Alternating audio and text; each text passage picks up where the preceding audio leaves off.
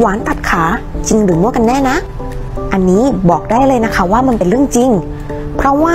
โรคเบาหวานนะคะ จะทำให้เส้นประสาทบริเวณที่นิ้วมือ หรือนิ้วเท้าของเรานะคะ เสื่อมสภาพไปทำให้ไม่ค่อยมีความรู้สึก เมื่อเกิดแผลนะคะ ก็จะไม่ค่อยรู้สึกตัวกันเลยค่ะ นอกจากจะทำให้แผลเป็นได้ง่ายนะคะ ก็ยังทำให้แผลมันหายช้าค่ะ เป็นเพราะว่าโรคเบาหวานนะคะ จะทำให้หลอดเลือดบริเวณส่วนปลายค่ะ มีการตีบหรืออุดตันได้นะคะทำให้บางรายมีอาการรู้สึกว่าชาปลายมือปลายเท้า การที่เลือดไปเลี้ยงที่แผลนะคะ น้อยลงก็จะทำให้แผลหายช้าลงค่ะ นอกจากนี้นะคะ ตัวเม็ดเลือดขาวก็ยังทำงานได้ไม่เต็มที่ค่ะทำให้เสี่ยงต่อการติดเชื้อ แผลอาจจะลุกลาม จนถึงขั้นต้องตัดขากันเลยทีเดียวค่ะ แต่ไม่ได้หมายความว่าผู้ป่วยเบาหวานทุกรายจำเป็นจะต้องตัดขานะคะถ้าหากเรามันดูแลสุขภาพของเราให้ดี มีการสวมถุงเท้า ป้องกันการบาดเจ็บบริเวณเท้า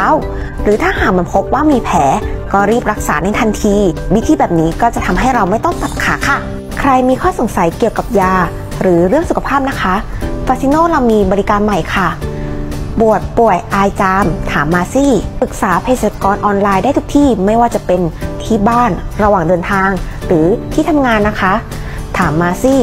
ปรึกษาเภสัชกรฟรีไม่มีค่าใช้จ่ายค่ะ